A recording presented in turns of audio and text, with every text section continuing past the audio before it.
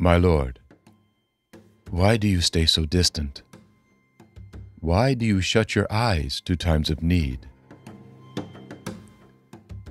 In arrogance, the wicked individual aggressively pursues those in need. Let him be trapped in the schemes which he has planned for the needy. For the wicked one rejoices in the cravings of his soul, and he breaks away, blessing himself while discarding the Lord. In his pretentiousness, the wicked one thinks an accounting is not required. In all his scheming, there is no God. His ways will be successful.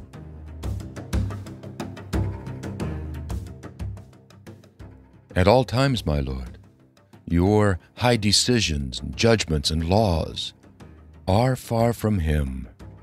He scoffs at all his enemies. He says to himself, I am secure. I will not falter. I am protected from misfortune.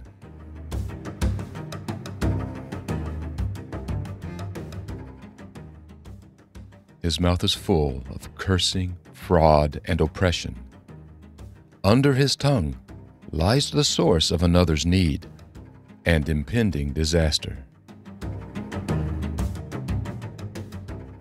He sits in ambush near the villages, and from his secret hiding place, he ruthlessly kills the blameless. His eyes always search for that unhappy helpless.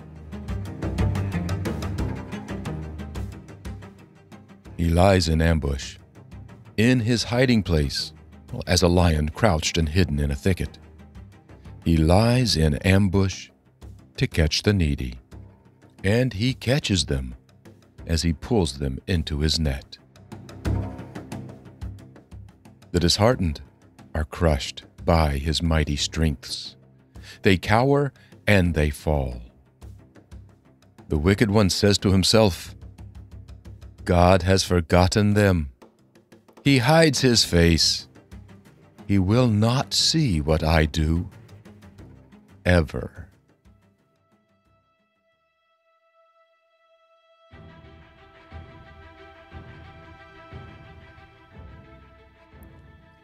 Arise, my Lord, my God. Raise your hand to strike back, to do something. Do not forget those who are humbly bowed before you. On what basis does the wicked one discard God? On what basis has he convinced himself that you will not require an accounting for what he has done?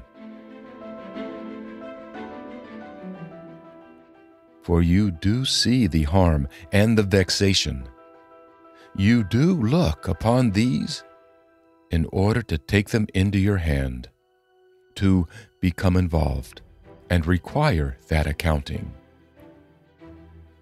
The helpless, leave it in your hands.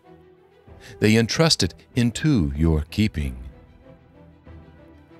For you have been the one who assists the fatherless, the ones who cannot help themselves.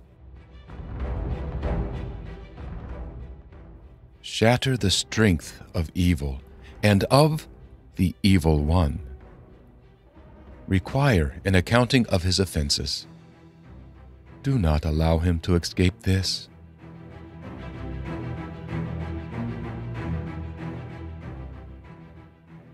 The Lord is King.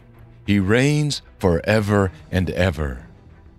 Wicked people are carried off from his land. My Lord, you have heard the longings of those humbly bowed before you. You are intent upon their hearts. You cause your ear to attend to them.